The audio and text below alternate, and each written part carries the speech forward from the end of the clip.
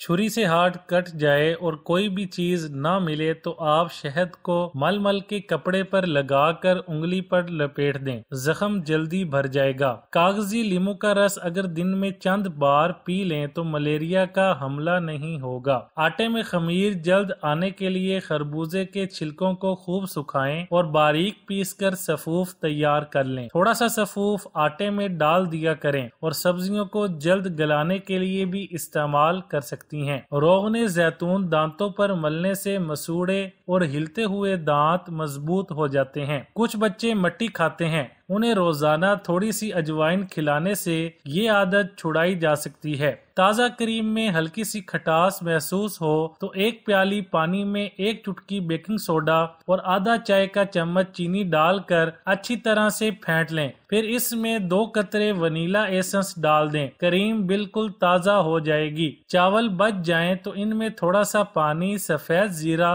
नमक मिर्च डालकर पकाएँ, घोट कर लई की तरह कर लें। किसी ट्रे में जरा सा घी लगाकर बढ़िया तोड़ लें। तेज धूप में तीन चार दिन सुखाएँ। जब अच्छी तरह खुश्क हो जाएँ तो डिब्बा में भर लें। इनको आप तेज गरम घी में हल्की आँच पर तल लें। चाय के साथ मज़ा देंगी। आप इन्हें मेहमानों के सामने में रख कर दाद वसूल कर सकती हैं। इस्तेमाल शुदा घी अलग प्याले में रखें, ऊपर से निथार लें। तेल हो तो वो भी ऊपर ऊपर से निकाल लें। लें घर में कोई पुरानी छलनी हो तो इसमें छान लें। घी का प्याला फ्रिज में रख कर ऊपर की जमी हुई तय अलहदा निकालें। देख के सालन का घी भी आप महफूज कर सकती हैं। जमा हुआ घी किसी डिब्बा में रख लें थोड़ा थोड़ा इस्तेमाल करें। अचार को खराब होने से बचाना। अचार के मर्तबान को खुश जगह ढांप कर रखें। गीले हाथ से अचार ना निकालें। बिल्कुल साफ़ चमचा मर्तबान में डालें। खराब चमचा से अचार खराब हो जाता है। आटे आटे या अनाज का कोई जर्रा मर्तबान में ना पड़ने दें।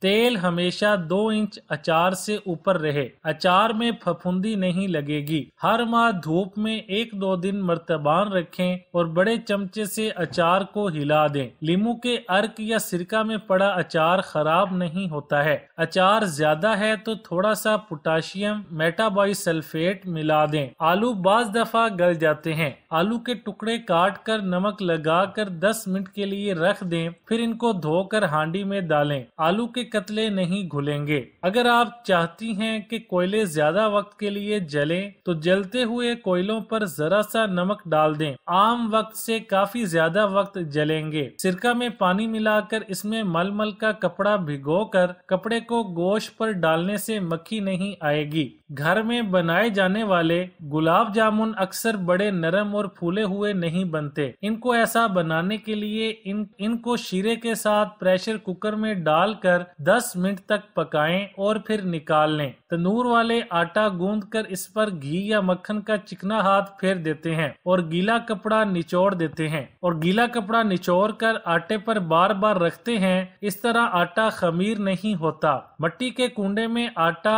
गूंद कर कच्ची गीली ज़मीन पर रखने से आटा ठीक रहता है। फ्रिज में आटा गर्मी के दिनों में दो तीन दिन से ज़्यादा न रखें। इसकी रोटी सही नहीं पकेगी। देख का सालन बच जाता है। आप इसके ऊपर वाला घी पतीली में महफूज कर सकती हैं। जब ज़रूरत हो, घी गर्म करके आहिस्ता से चमचा भरकर निकाल लें। इस तरह घी काम आ जाएगा। सालन के जरात नीचे जमे रहेंगे। ये घी आप काफ़ी दिन इस्तेमाल कर सकती हैं। पहले जमाने में बड़ी बुज़ुर्ग खातन गाजर, शलजम और करेले सुखा कर रखती थी। गाजर काटते वक्त वो गाजर की पैंदी गहरी काट कर फेंक देती। आज की ताज़ा तहकीक भी यही है। गाजर की पैंदी काटने से गाजर जल्दी खुश्क हो जाती है। सब्ज़ियाँ आम तौर पर धूप में सुखा कर खुश्क की जाती हैं। मटर के दाने भी खुश्क करके डिब्बों में भरे जाते हैं। सालन में मिर्च तेज हो जाए तो बड़ी मुश्किल होती है। ऐसे में आप दही या टमाटर डालें ताकि मिर्च की तेज़ी कम हो जाए। दही से मिर्चों की तेज़ी खत्म होती है। बहुत तेज मिर्च है तो घी निथार लें। दूसरा घी डालकर मिसाले में गोश्त डालें और टमाटर डालकर भून लें। निथरा हुआ घी दूसरी हांडी के काम काम आ सकता है। दही में एक चमचा चीनी मिलाकर फेंट कर डालें। अगर आपको खांसी हो तो शलजम के रस को जोश देकर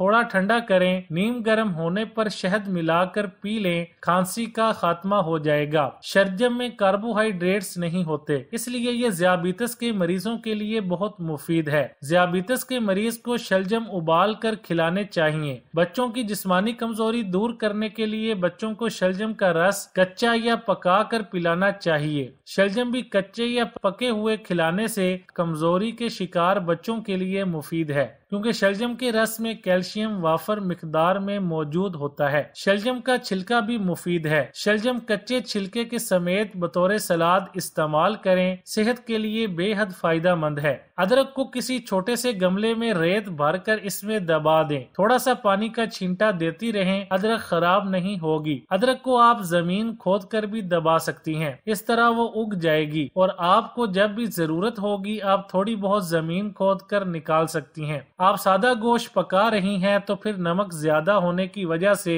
आप सालन में किसी भी मौसमी सब्ज़ी का इजाफा कर दें। शलजम, गाजर, आलू डाल सकती हैं। चने की दाल धोकर सालन में डाल दें। शोरबा के सालन में नमक सही हो जाएगा। सब्ज़ी पका रही हैं तो इसमें कोई और सब्ज़ी शामिल कर दें। आलू हैं तो गोभी भी डाल दें। टमाटर मिला दें, नमक ठीक हो जाएगा। मुख्तलिफ़ सब्ज़ियाँ मिलाकर सालन बना सकती हैं। अंडों पर हल्का सा तेल मलें। एक एक अंडा अंडा उठाकर कपड़े से तेल लगाकर रखें। फिर इनको अंधेरी ठंडी जगह या ज़मीन पर फैलाकर रख दें। 20 दिन तक अंडे ठीक रहेंगे। पानी में नमक डालकर गर्म करें। चाय के डिब्बा में सफ़ेद पत्ती वाला कागज़ होता है। अंडा अगर ज़्यादा ही टूटा हुआ है तो उसको पट्टी में लपेट कर चाय के डिब्बा में सफ़ेद पन्नी वाला कागज़ होता है। अंडा अगर ज़्यादा ही टूटा हुआ है तो उसको पन्नी में लपेट कर धागा बाँध, फिर उबालें। अगर थोड़े से अंडे टूटे हुए हैं तो ठंडे पानी में डालकर एक बड़ा चमचा नमक मिलाकर हल्की आँच पर उबालें। मछली की बू दूर करना। मछली को बगैर धोए नमक